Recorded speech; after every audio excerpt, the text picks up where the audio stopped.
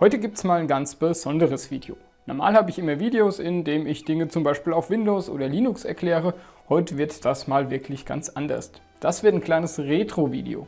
Inspiriert dazu hat mich ein Besuch im National Computer Museum in Bletchley Park.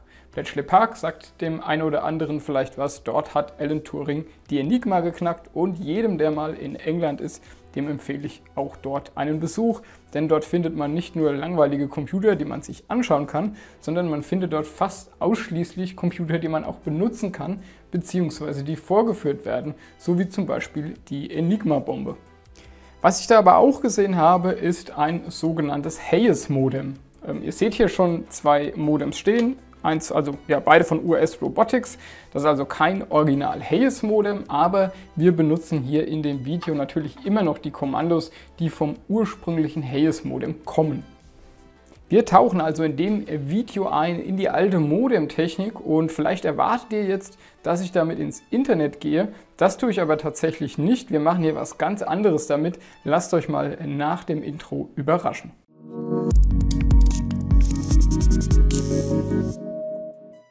So, diese zwei Dinge habe ich mir auf eBay Kleinanzeigen gekauft. Erstmal danke an die edlen Spender, weil die waren so günstig. Äh, ja, das ist dann schon, geht dann schon als Spende durch. Zum Beispiel dieses alte Modem hier, also dieses alte US Robotics Modem, das habe ich quasi geschenkt bekommen. Da musste ich tatsächlich nur die Versandkosten bezahlen.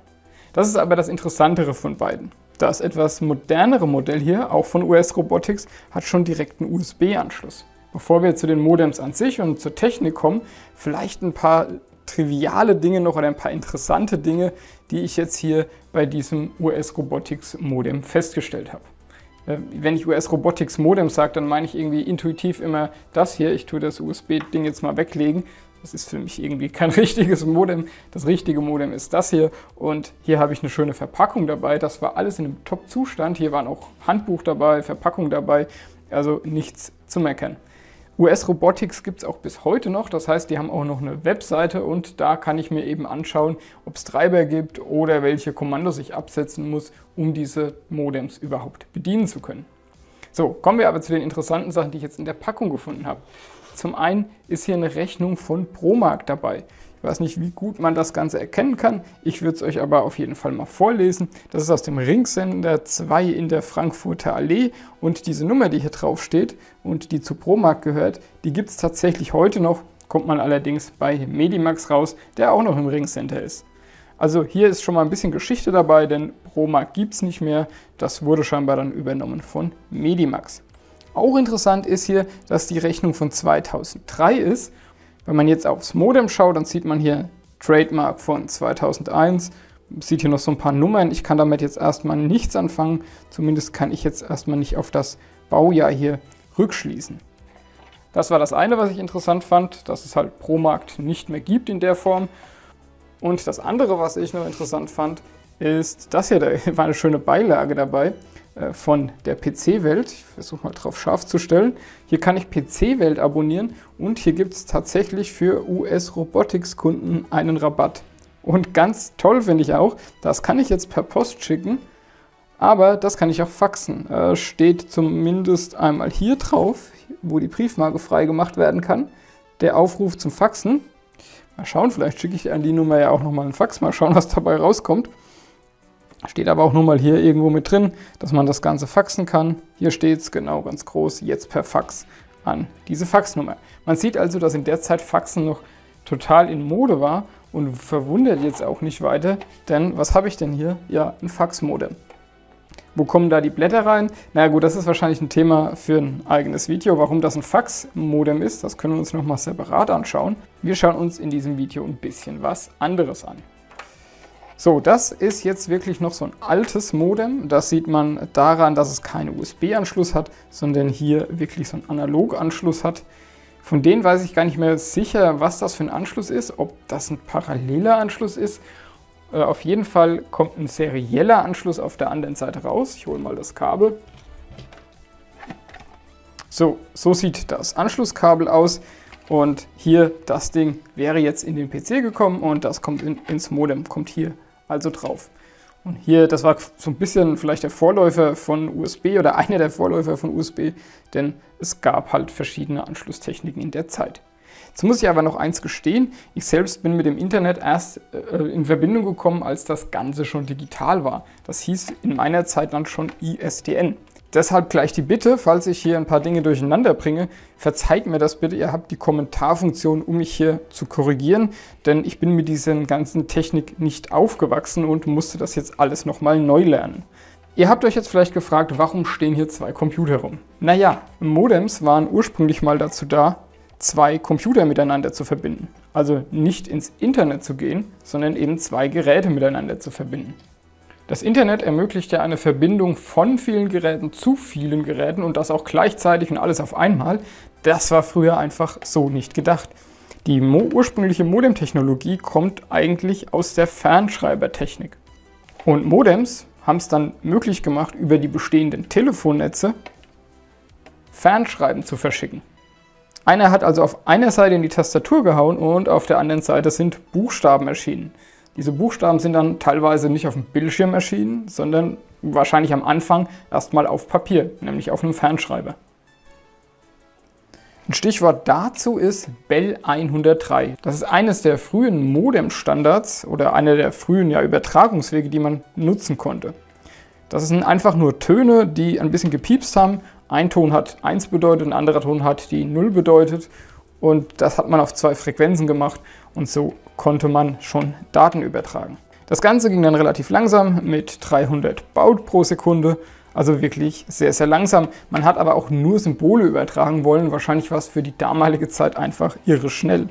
Man hat also die Telefonleitung genutzt, um da nicht Stimmen und Sprache zu übertragen, sondern ja, um Einsen und Nullen zu übertragen. Dafür war ja die Telefonleitung nie gedacht gewesen ein Modem war damit ein Missbrauch oder ein Hack der Telefonleitung, weil es da halt bestehende Netze gab und die konnte man jetzt auf einmal gut auch für die Digitaltechnik benutzen. Also Binärtechnik. Ob das jetzt schon digital war, da kann man vielleicht noch ein bisschen drüber streiten, aber Einsen und Nullen konnte man einfach übertragen. Was aus dem Modem rauskommt, sind deshalb erstmal einfach nur Töne. Thema Telefonleitung. Wie schließe ich das Ganze jetzt an? Wir schauen mal, was im Zubehör dabei war. Das erleichtert uns dann die Antwort ein bisschen. So, das ist jetzt das Kabel, das ich hier bekommen habe bei dem US Robotic ja, Analog Modem, nicht bei dem USB-Teil. Also da war einfach hier diese TAE, dieser TAE-Adapter für die Telefondose dabei und dieses Teil dann für das Modem. Jetzt haben wir aber ein kleines Problem, denn wir haben im Prinzip keine Telefonleitung mehr. Wenn ich das jetzt in meine Telefonleitung stecke, wird nicht viel passieren. Da werde ich keine Modemverbindung hinkriegen, selbst wenn ich einen Vertrag bei der Telekom hätte. Die Telekom hat mittlerweile auf All-IP-Leitungen umgestellt. Angeblich gibt es noch Gebiete, in denen die alten Telefonleitungen noch simuliert werden, aber die echte Telefonleitung gibt es nicht mehr. Wenn ihr da mal ein Stichwort braucht, das ist zum Beispiel POTS oder POTS, das heißt Plain Old Telephone Service und damit ist eigentlich gemeint, dass man Kupferkabel zusammenschmeißt. Denn Modems waren einfach dafür gedacht, Töne über eine durchgängige Kupferleitung zu übertragen. Und das hier, also diese ganzen Stecker, ist einfach die Erweiterung der Kupferleitung. Also das ist wirklich simpelste Technik. Heute funktioniert das aber ein bisschen anders. Wir haben wie gesagt All-IP-Anschlüsse. Ich habe zum Beispiel einen Cable-Anschluss, da würde ich so ein Ding sowieso nicht reinkriegen. Und das Ganze läuft im Hintergrund natürlich alles digital ab, nämlich über Voice-over-IP. Aber Voice-over-IP ist ja auch dafür gedacht, Töne zu übertragen, im Prinzip wie die alten Telefonleitungen ja auch. Wir haben jetzt zwar eine Digitaltechnik dahinter liegen, aber wir übertragen immer noch Töne. Und das können wir uns ja mal zunutze machen und schauen, was wir damit anfangen können. So, wo kriege ich jetzt aber meinen Telefonprovider her? Oder wie kann ich dieses Teil anschließen? Mal so gefragt. Naja, die Übersetzung zwischen diesen analogen Telefonen, die gibt es ja heute auch tatsächlich immer noch zu kaufen. Also ich kann immer noch bei Amazon ein Telefon kaufen, das mit einem TAE-Stecker daherkommt. Und deshalb gibt es auch noch Router, die genau solche TAE-Buchsen, ich sag mal, simulieren oder emulieren. Schauen wir mal hier unsere Fritzbox an. Ich muss immer gucken, dass der Fokus scharf bleibt. So, die habe ich mal von ihren Kabeln entfernt. Hier haben wir einen Telefonanschluss. Wenn ich auf die Rückseite gehe, da haben wir auch einen Telefonanschluss. Die heißen alle Phone 1, Äh, ich würde behaupten, die kann ich jetzt nicht doppelt belegen. Also ich kann nicht das da benutzen und das da zur gleichen Zeit, sondern das müsste ich dann immer ja, entweder oder nutzen. Oder ich schließe zwei Sachen an und beide würden wahrscheinlich dann klingeln. Das kann natürlich auch sein. Vielleicht, wenn man Modem und Telefon anschließen will. Und dann kann, muss man halt schauen, welches man dann abnimmt. Gut, aber wir haben hier zum Beispiel diese TAE-Dose simuliert, emuliert, wie man es nennen möchte. Es ist eine Hardware-Dose und ich kann das Ganze hier einstecken und am anderen Ende kann jetzt das Modem eingesteckt werden. Also im Prinzip haben wir immer noch die Funktionalitäten, die wir vorher auch hatten. Das ist jetzt hier zwar eine DSL-Box, tatsächlich habe ich ja gesagt, dass ich Kabel habe. Das heißt, die wird nur in meinen ja, Fritzbox-Verbund eingeklinkt. Die kriegt tatsächlich ihr Internet aus dem LAN. Also die DSL-Buchse werde ich jetzt hier nicht benutzen. Gut, so viel dazu. Ich schließe die mal wieder an, dass die sich hochfahren kann. Dann würde ich doch mal sagen, wir fangen mit unserem Setup an und versuchen, dass wir die beiden Geräte, die hier stehen, miteinander telefonieren lassen. Da kommen wir aber schon zum ersten Problem, denn meine beiden Laptops, die ich hier stehen habe, sind relativ neue Bauart und deshalb haben die auch keinen analogen Anschluss mehr. Die haben weder ein integriertes Modem, noch haben die einen RS232 Anschluss. Also ich kann jetzt hier dieses Käbelchen in keinen von den beiden reinstecken. Gut, ich habe ja noch ein USB-Modem von US Robotics. Das funktioniert natürlich. Das kann ich einstecken und ja, das würde dann die wenigsten Probleme in dem Fall machen. Wir versuchen mal unser Glück. Äh, ich nehme mal hier so eine kleine USB-Verlängerung. Weil schön ist auch immer, man konnte damals auf den Geräten doch sehen, so ein bisschen was vor sich geht. Die haben nämlich alle so Statusleuchten und das ist auch schon aussagekräftig oder man sieht ein bisschen was. Das will ich euch jetzt nicht vorenthalten.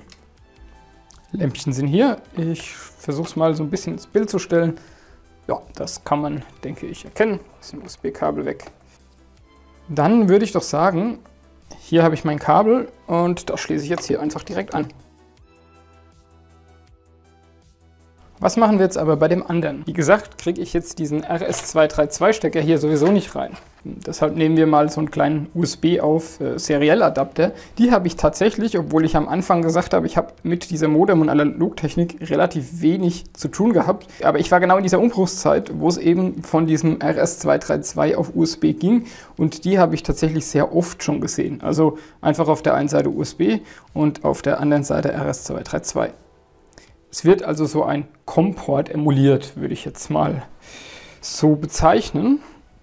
Also das Ganze wird jetzt hier angeschlossen. Das ist jetzt der Stecker vom Modem. Der kommt einmal hier rein und damit kann ich das jetzt an jeden USB-Computer anschließen. So, das Modem selbst hat jetzt hier noch gar keinen Strom und äh, hat auch noch kein Internet. Gut, ich habe eine zweite Fritzbox. Ich habe ja vorhin gesagt, man kann diese Ports halt nicht doppelt benutzen. Als erstes gebe ich dem mal Strom. Und das ist das Kabel aus der zweiten Fritzbox, auf dem ist auch eine Telefonnummer konfiguriert und das kann ich jetzt hier einfach reinstecken. So, jetzt haben wir also eine Telefonleitung simuliert. Ich sage simuliert, weil ähm, die Fritzbox simuliert nämlich auch ein paar Dinge, die eine Telefonleitung heute gar nicht mehr hat. Zum Beispiel ein Freizeichen. Modems erwarten in der Standardkonfiguration ein Freizeichen, sonst verweigern die erstmal ihren Dienst. Man kann da zwar rumstellen, aber so ganz grundsätzlich brauchen die erstmal ein Freizeichen. Das war das, wenn ihr früher euer Telefonhörer abgehoben habt und es hat gepiepst, das war das Freizeichen. Hier gibt es zum Beispiel auch eine, eine, Lampe, die nennt sich CD, äh, die heißt Carrier Detect. Also wahrscheinlich, ob überhaupt irgendwas auf der Leitung läuft. So, ich schalte das Ganze mal ein und dann steht hier schon mal Power. Jetzt muss ich kurz mal überlegen, wie das ganze Setup jetzt angeordnet ist, weil ich jetzt einfach irgendwas verkabelt habe. Äh, tatsächlich auf dieser älteren Fritzbox, auf der schwarzen, die hier steht, habe ich meine Nummer von Zipgate konfiguriert und die will ich anrufen und habe jetzt das Kabel von der Fritzbox, die hier im Bild ist, hier reingesteckt. Das heißt, ich will diesen Computer anrufen und deshalb muss ich jetzt erstmal hier auf den hier gehen und verbinde mich jetzt erstmal mit dem Modem. Bei Linux finde ich das Ganze ein bisschen fummelig. Man muss jetzt erstmal rausfinden, äh, wo das Modem überhaupt verbunden ist und am besten mit Root arbeiten, weil sonst die Berechtigungen Probleme machen.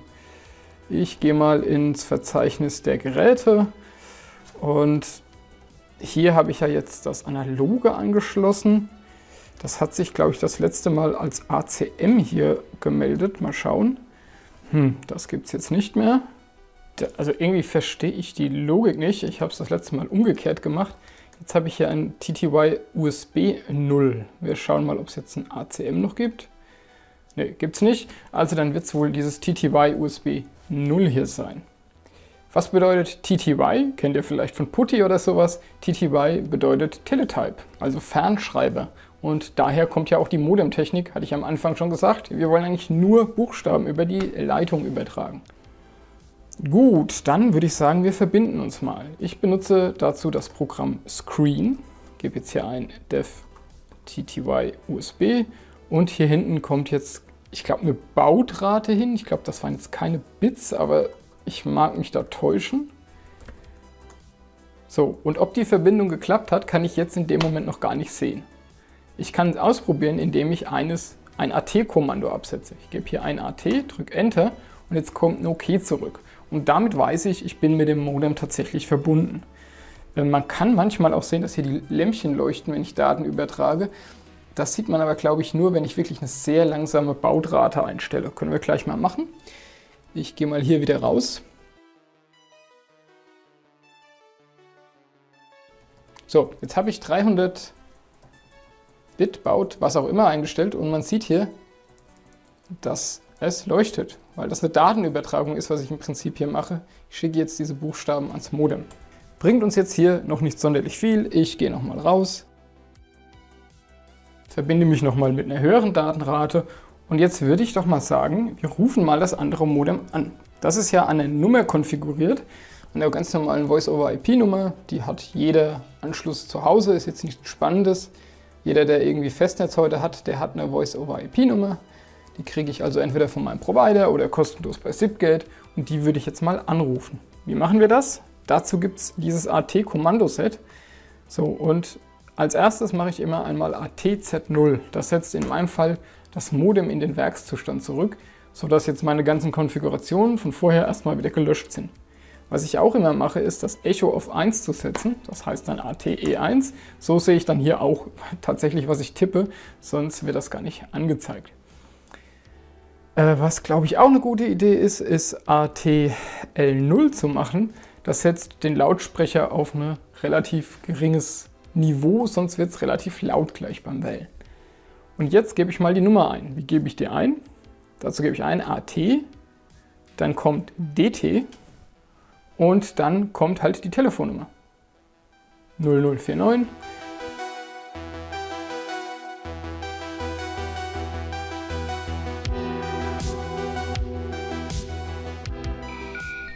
So, das Zeichen kennt man vielleicht noch.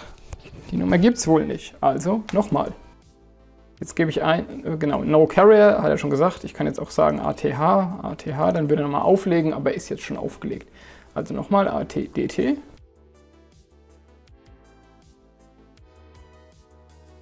Ja, jetzt habe ich ein Busy bekommen.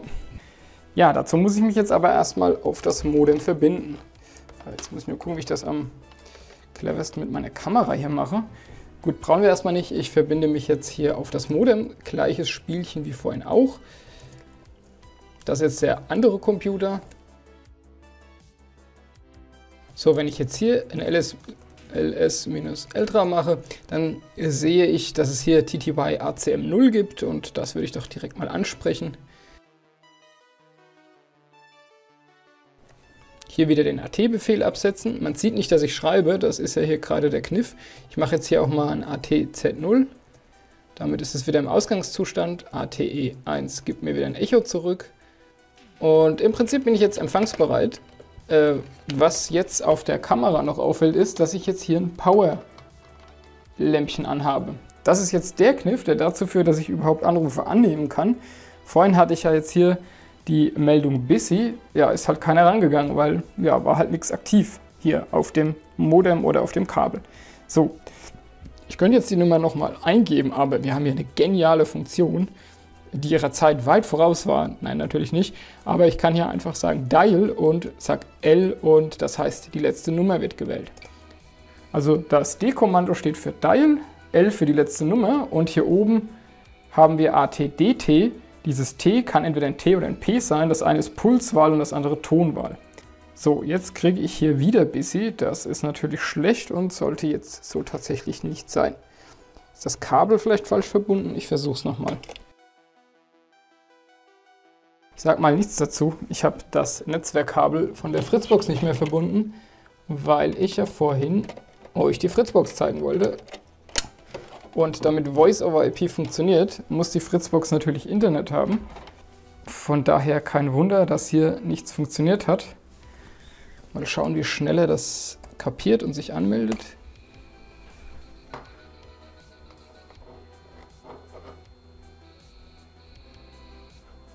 Es funktioniert. Man sieht hier schon mal was. Man sieht hier, hat hier kurz gesehen, dass es blinkt und hier steht jetzt Ring.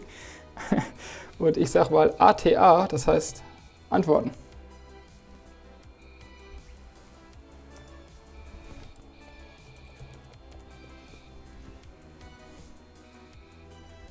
Das hat jetzt nicht funktioniert. Solche Situationen hatte ich tatsächlich jetzt schon öfters. Äh, an was das genau gelegen hat, keine Ahnung. Wir versuchen es einfach nochmal.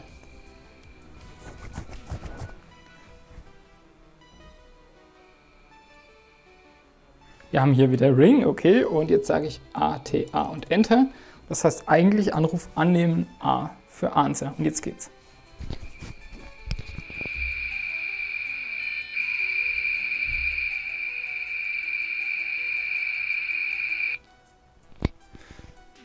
Wenn der leise wird, ist das immer ein ganz gutes Zeichen. Das heißt nämlich in der Regel, die Verbindung hat geklappt.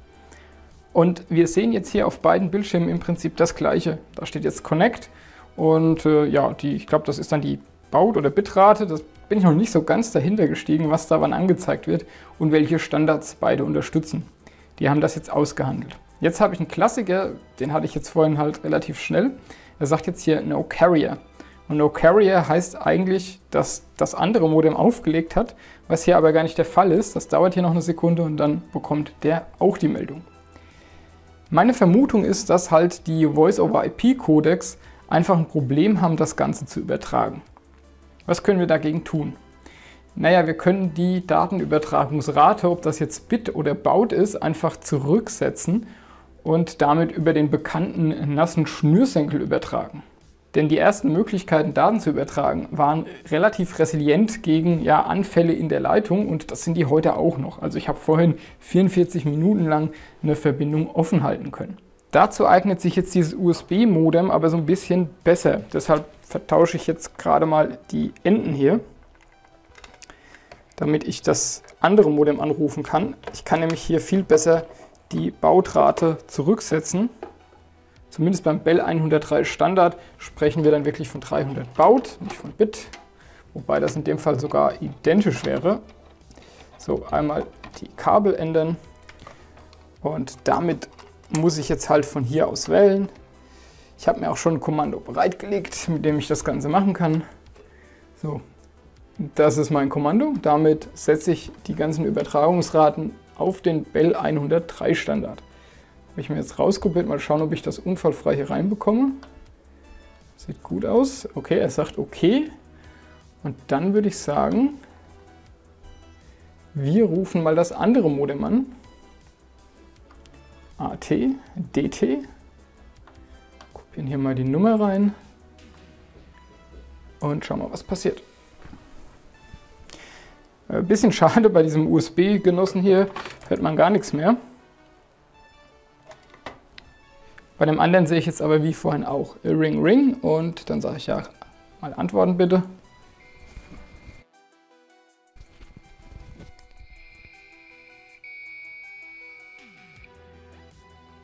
Was jetzt hier wirklich cool war, man hört schon, dass diese ganze Handshake, dass der ganze Handshake ein anderer ist.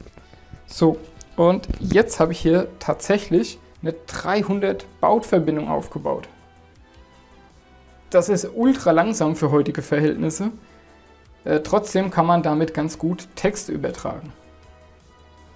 Hier werden immer so komische Steuerzeichen angezeigt. Ich bin noch nicht dahinter gestiegen, warum, ob das jetzt auch mit meiner Voice-over-IP-Leitung zu tun hat. Was ich aber auf jeden Fall sagen kann, ist, dass ich Buchstaben übertragen kann. Ich drücke mal hier ein A. Also linke Seite drücke ich Buchstaben, die kommen hier auf der rechten Seite an. Und genau das war halt ein Fernschreiber. Es gibt hier bei dieser Methode auch keine Fehlerkorrektur oder sowas. Der linke Computer oder das linke Modem weiß jetzt überhaupt nicht, was auf dem anderen ankommt. Wenn es Störungen in der Leitung gibt, kommt halt gar nichts an im Zweifel. Ähm, ich sehe auch gar nicht, was ich hier schreibe auf dem anderen. Das kann man, glaube ich, mit den AT-Befehlen auch noch einstellen, dass man es auch noch sieht. Aber man sieht, es werden hier Zeichen übertragen. Ich tippe jetzt mal ganz schnell und dann merkt man, dass der dann doch ein bisschen hinterherhinkt und die Übertragung so ein bisschen zeitversetzt ist. Das geht natürlich auch in die andere Richtung. Wenn ich jetzt hier anfange zu tippen, sehe ich jetzt hier nichts, sehe dann hier aber auf dem anderen Bildschirm, dass eben was übertragen wird. Ja, und das war wirklich die ursprüngliche Funktion von Modems. Man hat zwei Geräte, in der Regel zwei Fernschreiber miteinander verbunden und da wurde noch auf dem Blatt Papier die Buchstaben ausgedrückt. Und ich finde es einfach super, dass das heute noch geht auf diesen ganz modernen Modems. Also das sind so die letzten ihrer Art, die verkauft wurden. Beziehungsweise das wird ja heute noch relativ teuer bei Amazon verkauft, dieses USB-Modem, weil man damit zum Beispiel noch faxen kann. Ein Faxmodem ist das ja auch, also auch damit könnte ich jetzt faxen. Und beim Faxen habe ich ja auch den Effekt, dass ich im Prinzip zwei Geräte, wenn man so will, sind Fax auch ein Fernschreiber, aber ich verbinde da zwei Geräte miteinander. Ein Fax ist jetzt nicht wirklich ein Fernschreiber, weil keine Buchstaben übertragen werden, sondern da werden einfach Bilder ausgetauscht. Ich glaube, das TIFF-Format, TIFF G3, in die Richtung geht das, das wird bei Faxen ausgetauscht. So, und diese Verbindung kann ich jetzt offen lassen. Ich habe eine Festnetz-Flatrate, ich bezahle jetzt hier für die Verbindung nichts und kann das jetzt ewig offen lassen. So, und jetzt seid ihr dran. Welche Erfahrungen habt ihr in der damaligen Zeit mit Modems gemacht? Wenn jemand unter euch ist, der das wirklich mal selbst miterlebt hat, der kann sich gerne bei mir mal melden oder der sich hier auskennt, was beitragen will oder eine Idee für weitere Videos mit dieser wirklich tollen Technik hat. Meldet euch ruhig mal bei mir. Ähm, mir fehlt da so ein bisschen die Expertise. Wir können auch gerne mal telefonieren und ihr könnt mir ein bisschen was dazu erzählen. Würde mich wirklich interessieren. Ich bin auf jeden Fall fasziniert. Das Video hat mich jetzt hier zwei Tage Recherche und ganz viele Piepstöne gekostet, bis hier zum Beispiel so eine Baut 300 Übertragung mal zustande gekommen ist. Bemerkenswert ist auch, dass diese AT-Kommandos von Hersteller zu Hersteller und Modem zu Modem unterschiedlich sind. Zum Beispiel diese Limitierung auf Bell 103, das ist übrigens ein Protokoll aus den 60er Jahren, äh, das konnte ich jetzt nur mit diesem hier machen. Von diesem aus hätte ich das nicht machen können. Auch noch ein Kommando, das hier erwähnenswert ist, ist das 3 plus. Das tippe ich mal auf einer Seite und dann sagt er hier, okay, jetzt kann ich wieder AT-Kommandos absetzen und die werden nicht übertragen. Und wenn ich aus diesem AT-Kommando-Modus raus will, dann muss ich tippen AT O, glaube ich, und okay. Und jetzt bin ich wieder zu dem ja, normalen Modem verbunden und kann wieder Buchstaben schreiben und das kommt dann hier drüben an. Ich habe zum Beispiel auch noch nicht rausgefunden, wie ich eine neue Zeile machen kann. Also äh, Enter funktioniert nicht, keine Ahnung. Vielleicht hat der eine oder andere da noch eine Idee für mich, wie ich das hier ein bisschen besser nutzen kann. Also eine neue Zeile ist äh, gut, der fängt dann wieder von vorne an, wenn ich Enter drücke und fängt dann an, das alte zu überschreiben. Könnten jetzt natürlich auch einfach daran liegen, dass das Ganze dann wahrscheinlich bei einer, beim Teletype, also beim Fernschreiber, eine neue Zeile wirklich auf dem Papier macht und ja nicht wie hier dann wieder von vorne anfängt. Carriage Return ist, glaube ich, hier das richtige Stichwort. Ich hoffe, ihr habt was gelernt bei diesem Video. Wenn ihr mal in Bletchley Park seid, auf jeden Fall ins Computermuseum gehen. Und falls ihr wirklich hier noch Ahnung habt von den ganzen AT-Kommandos, von Modems an sich, dann tretet mal mit mir in Kontakt. Mich würden hier so einige Dinge interessieren, die ich nicht mehr herausfinden oder recherchieren konnte oder die ich einfach nicht verstehe. Ich finde es eine Wahnsinnstechnik, weil man halt damals einfach die Telefonleitung nur gesehen hat und hat sich gedacht, ja, wie können wir das jetzt für Fernschreiber nutzen und hat dann Töne in einfachster Weise moduliert. Damals war das wahrscheinlich nicht die einfachste Weise, aber es waren so die ersten Gehversuche, Daten zu übertragen über die Telefonleitung. Heute ist das Ganze natürlich ein bisschen anders, aber ich finde das doch eine ganz, ganz spannende Geschichte zu sehen, dass diese Modems eigentlich gar nicht ursprünglich dafür gedacht waren, ins Internet zu gehen, sondern wirklich einfach nur Buchstaben von A nach B zu übertragen. Und auch interessant zu sehen, dass das mit Voice-over-IP im Prinzip immer noch geht. An der Stelle sage ich dann Danke fürs Zuschauen. Ich würde mich natürlich freuen, wenn ihr meinen Kanal abonniert, damit ihr keine spannenden Videos mehr über die Modemtechnik verpasst. Und ein Daumen nach oben wäre natürlich auch schön.